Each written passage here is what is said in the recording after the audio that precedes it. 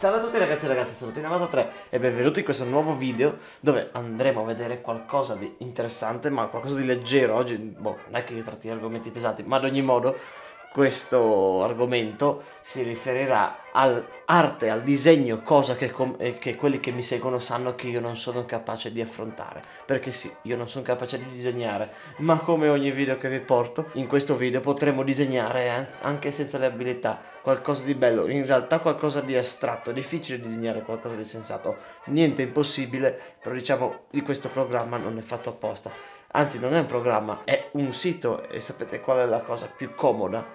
È che si possono salvare le immagini in qualsiasi formato, il formato sarà la dimensione della finestra a, a schermo pieno, quindi se dovete fare uno sfondo desktop per esempio utilizzate la risoluzione a schermo intero. Ad ogni modo il sito si chiama wavesilk.com, ma vediamo in cosa si sostanzia. Iniziamo già a disegnare. Ci sono delle icone qua. Innanzitutto fate full screen, dopodiché fate controls. In controls potete cambiare il colore. Come potevate vedere tende a cambiarli un po' da solo.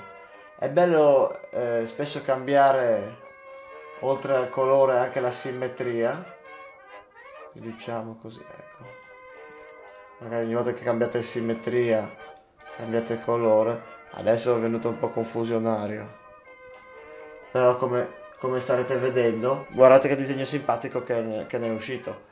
Adesso lo salviamo, o lo potete anche condividere per salvarlo, fate giustamente save picture eh, e vi salverà non l'immagine completa ma quella che state vedendo voi, quindi ricordatevi di non andare fuori dagli spazi perché no, non ci sono parti che non vedete, tutto quello che vedete è quello che viene salvato. Eh, e niente, tutto qua, il video di questa settimana era veramente breve, può essere utile per qualcuno questo va bene magari se volete farci se volete disegnare qualcosa di semplice anche per, per esempio che, che, ne dite magari dovete fare un titolo e ci fate così ecco la scritta in mezzo così magari per un'anteprima per qualcosa di multimediale è molto simpatico. O io l'ho utilizzato per farmi uno sfondo desktop perché la risoluzione di questo schermo è, diciamo non è comune ed è difficile trovarci immagini per questo. Comunque come vedete questo sito ve lo raccomando questa domenica Vedremo in breve un grande video da portare, ma non so se riuscirò alla fine di questo mese, ma ci sto lavorando su, quindi stay tuned. E ogni domenica alle 16 un nuovo video. Grazie per la visione, vi auguro una buona domenica e alla prossima, T93, ogni domenica alle 16.